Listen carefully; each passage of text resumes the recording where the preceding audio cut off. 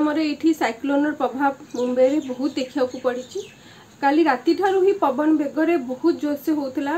ରାତି ସାରା ଆମର ପବନ ହେଇଛି ଏଇଠି ବର୍ଷା ଟିକେ ରିମଝିମ୍ ରିମଝିମ୍ ହେଉଥିଲା ବଟ୍ ସକାଳୁ ବର୍ଷା ସହିତ ପବନ ବହୁତ ଜୋରସେ ହେଉଛି କରୋନାରେ ତ ଲୋକମାନେ ବାହାରକୁ ବାହାରୁ ନଥିଲେ ଏଇଠି ପୁଣି ଆଉଥରେ ସାଇକ୍ଲୋନ ଯୋଗୁଁ ଆଜି ବି ସମସ୍ତେ କେହି ଘରୁ ବାହାରୁ ନାହାନ୍ତି ଏତେ ଭୟ ଭୟଙ୍କର ଭୟାଭୟ ହେଇଯାଇଛି ସୃଷ୍ଟି ସମସ୍ତେ ଘର ଭିତରେ ହିଁ ରହୁଛନ୍ତି